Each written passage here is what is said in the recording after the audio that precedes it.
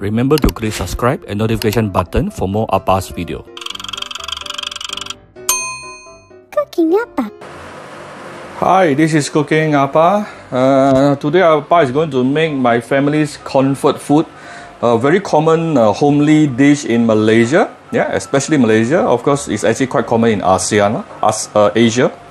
Um, I have. Uh, I'm going to make a pork leg vinegar. Okay, this is also a very uh, famous confinement dish. So uh, I have about 1.5 kg of pork leg here. Try to choose um, hind leg, meaning the leg behind, because this is your this is what you're going to get the tendon. Okay, if you choose the uh, uh, front leg, you won't get much tendon. So the tendon is what really gives you the collagen also, yeah, and also together with the skin. So get a hind leg. Usually hind leg is quite big, yeah, it's bigger. Uh, the hind leg will be probably about two, uh, easily 2.5 kg to 3 kg. So I will, you, I will usually ask the butcher to cut them into smaller bite sizes like this, and I will separate into two times. Yeah, I will cook it into two different portions. So the first one, uh, the first portion, I'm going to use it to pork, uh, do pork vinegar. The second portion, I'll probably use it to cook uh, pork leg, uh, braised pork leg. Okay, so the main ingredient is actually very simple. You need a lot of ginger. Okay. Notice I did not clean the ginger skin uh, thoroughly. Uh, as a matter of fact, you don't have to. You don't even have to clear off the skin. Just wash it nicely. Uh, the reason why the reason why people uh, remove the skin is also partly because it will look better anesthetic, uh, anesthetically. If not, actually you can leave it on or just just uh, peel off uh, part of it. And it is very easy to peel off ginger skin. All you need to do is use a spoon. You don't even need a peeler. Okay, just use a spoon, scrape it off.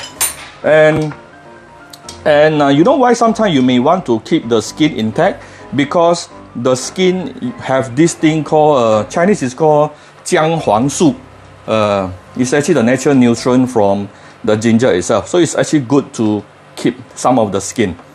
And you you want to bruise it, yeah? Crush crush your crush your uh, ginger with your knife so that uh, the flavor will, can come out easier. And to give it a bit of uh, kick, I'm going to add some a few uh, dried chili here. So and the main ingredient between the two, uh, the, the seasoning, is what we call sweetened vinegar. Okay, you can use any brand you like, but it has to be sweetened vinegar. Yeah, it's a sweetened dark vinegar and water. Okay, basically the ratio between the two is one to one. One sweetened dark vinegar and one ratio of water. You don't have to add in any other type of vinegar at all. You only need one type of vinegar, which is the sweetened dark vinegar, and the ratio is one to one. Okay, so first of all, we just want to um, uh, do some sauteing to really bring out the flavor of the chili and also the ginger. Hi, this is Cooking Appa. Uh, still, many people are asking about how to blanch uh, meat. Um, so first of all, I just I'm I'm just want to re, uh, explain to you why is it people want need to blanch the meat. Blanching process will actually help you to remove the uh, gaminess in any kinds of uh, meat, yeah, especially red meat. Usually, red meat will come with a little bit more gaminess. So blanching is actually very important, uh, especially for pork. Especially for pork, yeah. So the blanching process is important here, and by doing blanching, what you want to do is to remove the unnecessary uh, smell and also to remove the excessive blood from uh, the bone itself and to some of the meat. And uh, of course, there's one very important thing I notice uh, people always make a mistake which is actually to uh, put the meat into boiling water. That is actually wrong. What you should do is actually put the meat into cold water, then only you raise the heat until it is uh, boiling. By doing this, uh, then only the blanching process will be more efficient. Okay. So I have about, I'm, I'm going to uh, cook pork vinegar later. So this is actually uh, pork hind leg, the leg behind, uh, about 1.5 kg I think. So what we need here is few slices of ginger, okay, and some Shaoxing wine. If you uh, don't don't take alcohol, then of course uh, you don't have to put the Shaoxing wine. Like I mentioned, the correct way of doing blanching is actually to put your meat into uh, cold water, then only you raise the heat.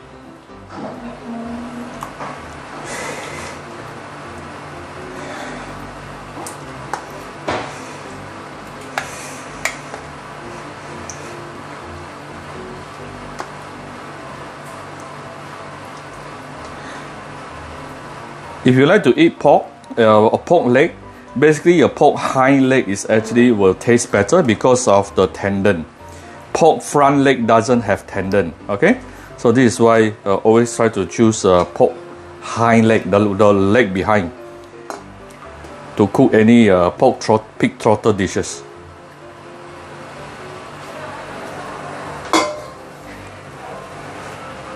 Few slices of ginger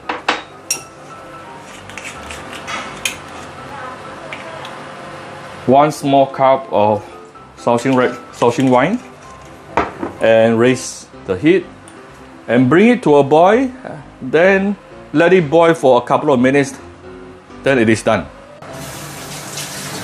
This is uh, did you notice all these uh, bubbles and forms? Um, this is not even boiling yet. Yeah this is only in the in the progress of boiling. All these forms already came out and these are the things that we want to remove. Yeah because this will the source of the gaminess of this from this particular pork so this is why i'm telling you always uh, add the uh, uh, your your bones uh, your or your pork inside inside the cold water then only you raise the heat. So i'm going to continue and let it uh, boil. Then um, let it boil for about three four minutes. Then it is done. Okay, my uh, pork trotter, my uh, pork leg has been uh, boiling for the past three minutes, and you can see all these foams coming out. So basically, the blanching process is almost done. What we need to do right now is just to uh, remove this. Okay, remove this and then uh, rinse, rinse all your uh, pork under running water clean them, uh, clean them uh, nicely. All right. I'm not going to show you how I rinse my pot because the last time I did it, many environmentalists scolded Appa for wasting water. Seriously, if you, uh, I don't know how to comment. Anyway, uh, yeah, okay. Just take remove this and then uh, rinse it under running water, and that's it. That's how simple it is. Okay, there you go after, uh, this is after I rinse and wash the pork uh, nicely okay?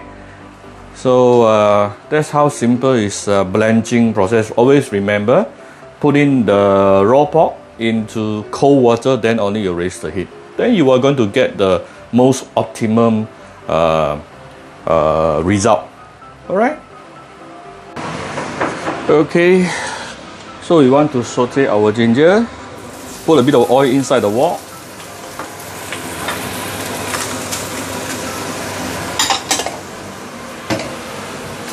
And also the dried chili.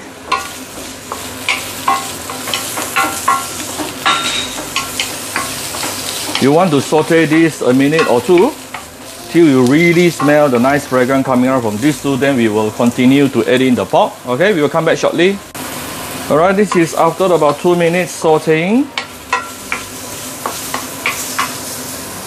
we can actually now add in the pork leg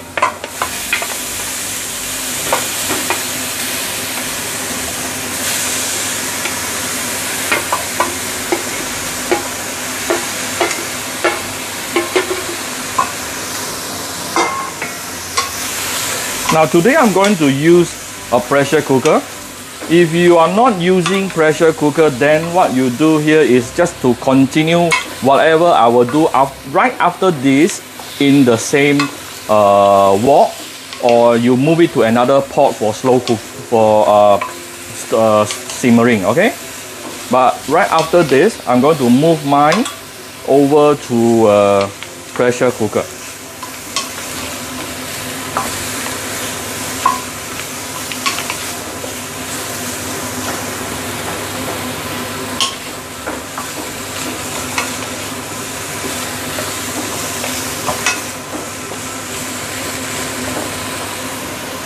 Okay, this is basically the first step is actually done. I'm going to move this to my pressure cooker.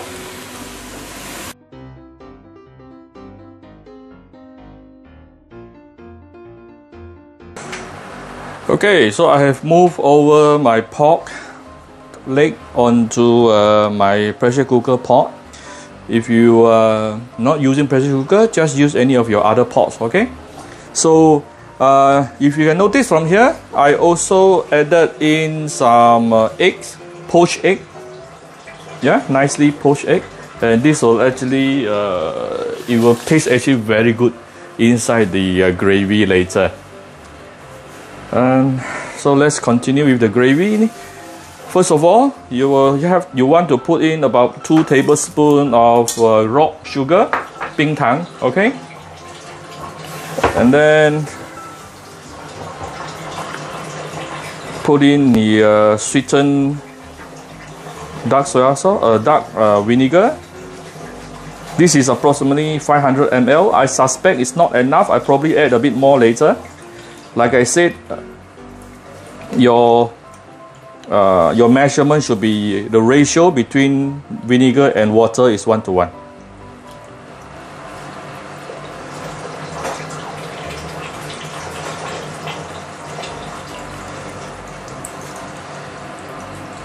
We want your broth to be uh, just nicely uh, covered all your ingredient okay? So here's my water. Ooh, almost there actually. Almost there. I'm going to add in some I have some uh, leftover from last round. Oh yeah my water is actually slightly more than 500 ml just now. Oh okay just nice altogether I think I put in probably about six 600 or 650 uh, ml each. Okay. Now I can move it to my pressure cooker. Okay I'm going to put this put the pot inside. All right and close the lid Hmm, I haven't been using this pressure cooker for some time. Don't forget to lock it. Uh, let me choose. Uh, where do I choose the system? Let me see. Uh,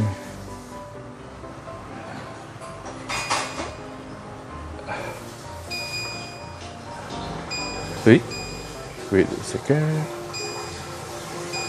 slow cooked pork roast, baked yogurt, uh, poultry, beef and lamb. Okay, I'm going to choose the beef and lamb. It's going to cook 30 minutes and uh, 60 kilopascal. I will reduce my pressure a little bit, 50 enough, and press it for 3 seconds. Alright, it is now start, starting and uh, yeah, it's pressuring up. So it will take probably about 10 15 minutes to warm out and then uh, pressure cooking and then another 10 15 minutes to, to release the pressure. So all in at least one hour and then it is done. Okay, so we will just come back in one, one after one hour then. Uh, if you are using normal pot, what you do is after adding the vinegar and water, bring it to a boil and uh, close the lid Bring down your heat to medium low and let it cook for 45 minutes. Okay, I repeat, bring bring up bring the broth to a boil. Okay, then close the lid. Slow down your fire or your heat to medium low and let it cook for 45 minutes. then it is done. Okay, if, that is if you are using a normal pot. Okay, my uh, vinegar pork, pork vinegar is now ready. Let me unlock and open it. So I have to be very careful because the steam will be coming up. Yeah. Put it on the side. Wow. I'm not sure if you can see this. Wow. Ooh. So fragrant. Okay, uh, let me do some final seasoning. Actually, this is not. Uh, it's really up to you. Many people doesn't doesn't add uh, salt into this particular dish, but I do. So I will uh, I will add some salt. You don't have to, yeah. If you don't know one, it's okay. It's optional.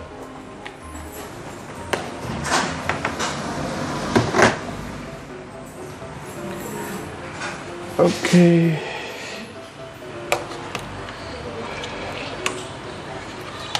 Give it a few stir.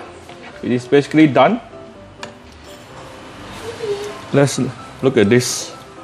Look at the bouncy uh, skin, pork skin. Okay, this is exactly the kind of uh, texture I wanted. And uh, my egg is nice, nicely braised. Okay, so yeah, it's basically done. Let me show you how I serve it.